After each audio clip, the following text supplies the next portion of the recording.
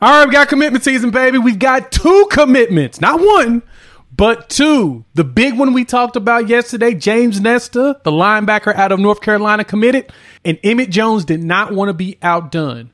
Dozie Ezukanma, three star wide receiver out of Fort Worth, Texas, has also committed to the Sooners right after James Nesta. We got to talk about both of them so we can get excited because I told you it was going to come down. But first, Welcome to Unfair Sports. I'm your host, Jay. Thank you all for pulling up here on the YouTube channel.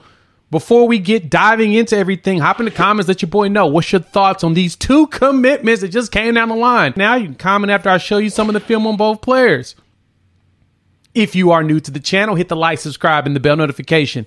Make sure you join the family. We're dropping a lot of content, especially now that OV season is ending. We've got a lot of commitments coming down the line, and so I want you all to be excited with your boys. So let's dive right into these players. Dozie as well as James Nesta. We'll start with Nesta and we'll finish up with uh, Ezukanma so that you guys know exactly who he is because, man, a little something special there.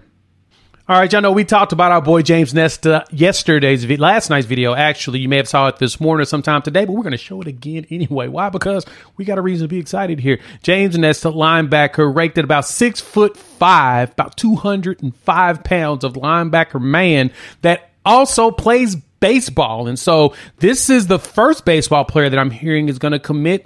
We've got a second one coming down the line. So just, you know, hang on to those wheels. Something else is going to go down. But let's talk about James. He comes out of North Carolina.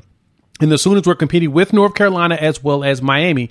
And in some of the stuff that I was reading around is that Nesta wanted to kind of get out, branch out, and do something different. But the best part is, is Coach Skip Johnson over on the baseball team decided to yank him in too and allow him to come play baseball here. Because remember, we had Kyler Murray, they finagled things perfectly to where Kyler could play baseball and be quarterback of the Oklahoma Sooners, which is a very tough feat to do. Is to play quarterback and play baseball. And so the Sooners figured it out. And Skip Johnson was one of those people that were instrumental in figuring it out for them. And so James Ness is going to come here. He'll play linebacker and he's going to play baseball for the Sooners. And you've seen in the film or whatnot, the man's a thumper. He can hit. And I heard on the baseball field, and I heard on the baseball diamond, he's actually even better. And so that blew my mind when I heard that information. I was like, okay, well, I guess this is one of those players that's going to come out and um, do some special stuff. So we've got Nesta. He'll be playing football and he'll be playing baseball. He may even go MLB because he's that good. And so because of that, we got him a spot. He'll be a thumper on the defensive side as well as an awesome baseball player. And so we're going to pause here, hop in the comments, let your boy know how excited are you as I am? I mean, hey, feels like we're in the upside down, baby. But the beautiful is, is that we're flipping right side up. We're getting these commits and we're showing you all what the work this coaching staff is doing. And I told you it's going to happen. So, and if you made it this far, hit the like, subscribe, and the bell notification. And so we're going to jump right into this wide receiver that Emmett Jones said, oh, yeah, I'm going to bring a player in too on top of the list of players that we're working on. All right, this was a shocker for me too. When it popped up, I'm like, Wait, who's this cat? So I'm gonna go look him up.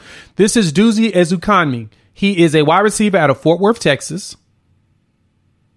Goes to All Saints Episcopal High School down in that area.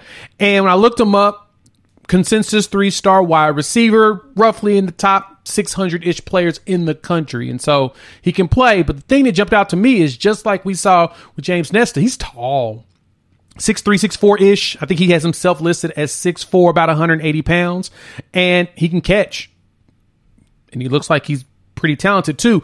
And so when I had to do some digging in it, I went to his page, and one thing that jumped out to me when I saw the commitment video, which was a little odd, it was more of a um, like the videos that we see when players come to do their officials, but at the end it said committed. I'm like, well, all right, we got ourselves a commitment to go along with this. And so with Dozie, what jumped out to me is is that his brother actually played wide receiver at Texas Tech.